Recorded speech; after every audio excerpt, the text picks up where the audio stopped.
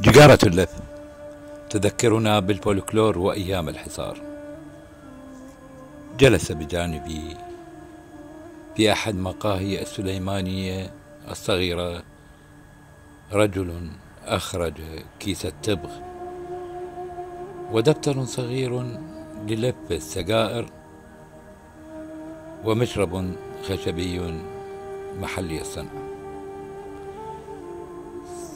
صنع من هذه المكونات سيجارة لف استأذنت منه لتصويره وبكل ممنونية وافق. تعد سجائر اللف من الفولكلور الشعبي وهي رخيصة الثمن إذ يتم تجميعها وعملها بشكل يدوي. ويعتمد نوع وطعم السيجارة على نوع التتن.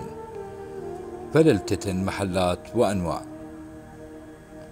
الخوشناو والسنجين والكسكين والحار والبارد والوسط ويتم جني أوراق التتن وتكون عريضة الشكل. يتم تجفيفها ويباسها وسحقها لتكون أجزاء صغيرة ليتم بيعها. يسمى باع التتن التتنشي مهن كانت ثم بادت.